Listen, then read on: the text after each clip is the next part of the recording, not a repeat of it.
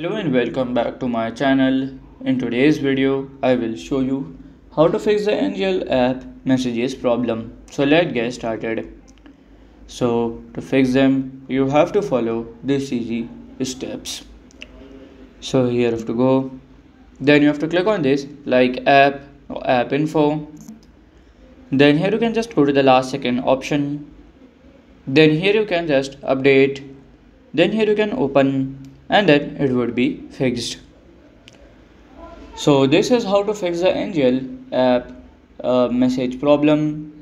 And if you find this video helpful make sure you like subscribe and share the video. Thank you for your watching